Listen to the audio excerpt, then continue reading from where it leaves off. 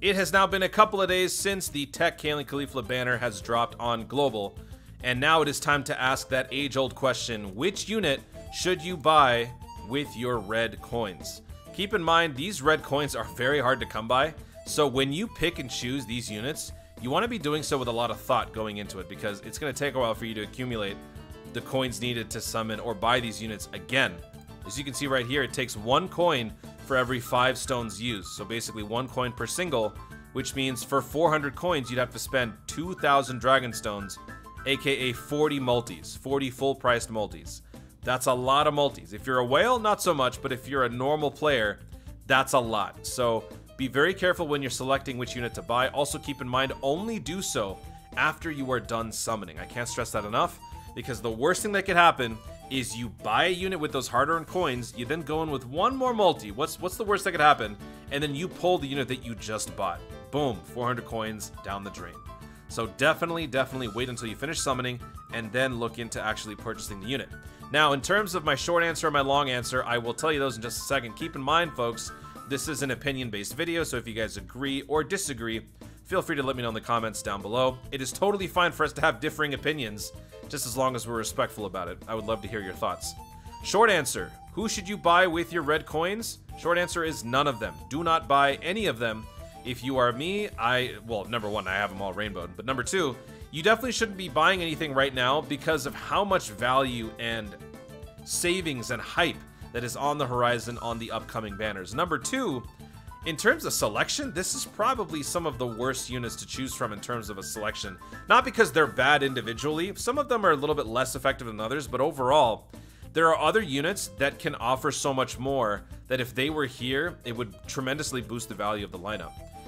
Videl is really good on paper. Stacks like crazy, can do a lot of damage, however, the leader skill, kind of a lackluster leader skill ability. Peppy Gals are such a dominant category already with the select units that are already there, you don't even really need the Videl. Number two, the Defender of Justice category is so irrelevant because there are so many other categories that are hidden within it that you don't really need the Defender of Justice moniker to actually run a team.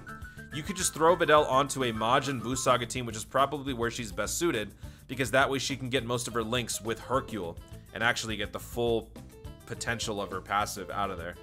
But other than that, Videl isn't a must-have. She's flashy, she's meant to look good because she's an obscure unit, but not somebody you have to have. Kefla became obsolete the second that this banner came out, which is hilarious, because everything that this Kefla can do, the tech version can do better, as proven also in my video. And she was never a good unit to begin with. One of the lesser Dokkan Festival units ever since she released. Not someone that a lot of people use, unless of course you like the character. And it's also sad to say that even within this lineup, the blue Kaioken is better in terms of offense and defense, I feel overall, than this unit. Blue Kaioken is a defensive liability, but the offense definitely offsets it, where if you take care of the unit, you can actually do some pretty lethal things with this guy towards the end of long form events, considering if he keeps stacking and stacking and stacking, the active skill, if activated under certain conditions, can single hit kill legendary Goku event levels.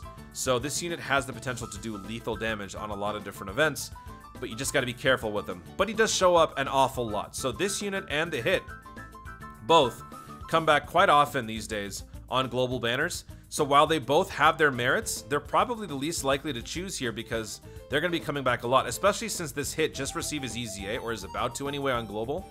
You don't really have to consider picking him up until maybe you try your shot on the Extreme Z banner to actually pull the guy. I say this because at this point, if you are somebody who is trying to save your coins for some of the Dokkan Festival LRs that are coming up, it could actually benefit you to potentially do a summon or two on an Extreme Z banner than trying to waste your hard-earned coins on a hit right now. Maybe if you use the Pilaf Trove, buy some tickets, summon that way, you could potentially get the hit on his upcoming EZA banner as opposed to right now. So there is something to consider with this guy. That is, of course, if you don't have him. If you don't even have him, you could always wait until you get him at some point in the future. He's not a must-have. Even though his EZA makes him a lot better, he's not an absolute must-have. Super Saiyan 4 Gogeta is really good. As a solo act, he is dominant. He can take on anybody. His stats are definitely proof of that. He can counter. He can definitely do a lot of damage. His active skill is good on Super Battle Road and otherwise. The only issue would probably be his categories. The effectiveness of his categories simply aren't there unless you put a lot of time into this game. Giant Ape Power doesn't have a whole lot of units, neither does Shadow Dragon Saga, but he's not somebody that has to be had right now, again, because of what's coming up. And that is the main focus of this video. Like when I was talking about earlier, the whole thing about value on these discounts, that's kind of the name of the game when it comes to these coin shop purchases too. Like I said, 40 multis are needed to replace a 400 red coin purchase. If you are ready and willing to spend 40 multis, then you're probably not going to be affected by this video too much. But if that sounds like a gargantuan task for you, then that should tell you and alert you to the fact that you probably shouldn't spend for any of these units. The next banner that should be dropping on Global should be Super Vegeta. And here, we're looking at the return of Broly. Broly himself justifies your coin savings. Bojack is a leader and also supports the category that he leads. Also fits on a number of extremely robust categories, some of the top tier categories in the game. Beerus is a dominant force on certain events, especially against god level units. He also leads Explosion of Anger and Realm of Gods, a very useful category lead for Realm of Gods. Transforming Vegeta, eventually will get his EZA because the Transforming Goku and the Frieza received theirs. He is eventually going to get his. When he does, he will be very good. So if you don't have a single copy, he might be one worth purchasing. Now, even more enticing than this banner, if you don't even care about this banner, don't care about the units, think about the fact that where we are right now. It is December, so we're looking at the Christmas banner, and then of course next month is next year. With the New Year's Step Up banner, there's a lot more to be gained simply from those multis and those summons. Let's look at the Christmas banner. This is what the Tanabata banner looked like for JP. So the Christmas banner on Global should look something like this, especially with the LR Dokkan Festival 6-year units coming back for the first time. The Ultra Instinct Goku and the Royal Blue Vegeta. These guys transcend all previously mentioned units so far. If you don't have these guys, or if you want more copies of them, highly recommend you pick these up. They thrive massively on additional super attacks. So if you are able to give them even more additionals from their hidden potential, the amount of critical hits that they could be launching per turn could be astronomical. Nah, that's not true. The amount of damage they can do from all of those additionals are astronomical, but it's not like you could be launching five, six attacks. The three that they do will suffice, which is a lot. So if you guys want these units, I would definitely recommend saving those coins because in just under a month, you'll probably be able to buy them anyway. So these guys now transcend everything else mentioned. And then, of course, the New Year's Step Up. This is the New Year's Step Up from last year. we had the Step Up for 20 stones for the Super Extreme Class Monotype lead. Then we had three intermediate steps for Dokkan Festival units, or category units. The reason why they're done like this is because they're clustered into little subsections because there are just so many categories. So this is what last year's clusters looked like. This is the monotypes. This is the first set of categories, probably the first generation. Then we're looking at the second gen right here, and then we're looking at the third gen. So obviously this year is going to look a lot more uh, updated with more Dokkan Festival units from this year. And then the fifth and final step is a guaranteed LR.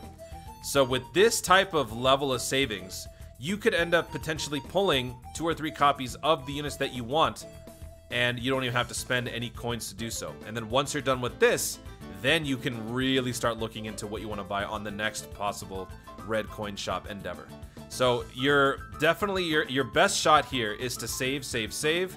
Wait to see what this next month has to offer during the holiday season. A lot of good stuff could come back, and it would definitely pay to be a patient player. But if you have to choose out of all of these five, I'll probably say Super Saiyan 4 Gogeta. But that's only if you're making me choose. I don't I don't want to choose. I would rather save, and hopefully you do so too. Guys, thank you so much for watching. If you enjoyed the video, be sure to leave a like down below. Let me know in the comments, what do you think about my thoughts on this all? Do you think that we should be saving until we see what's coming up for the, Holo the Halloween, the holiday banner and the New Year step up? Or if you had to pick right now, are you just going to pick whatever and buy one? If so, which one is it? Let me know what you guys think about all of this in the comments down below. Also, be sure to subscribe for more dope content in the future and click the notification bell so that you let YouTube know you want to see more of my stuff. Do it! Trying to reach 50k by Christmas. I know it's a pretty crazy goal out there, but if you guys genuinely enjoy the channel, feel free to subscribe. I would very much appreciate it. But thank you so much for watching. Stay tuned and always remember to Dokkan responsibly.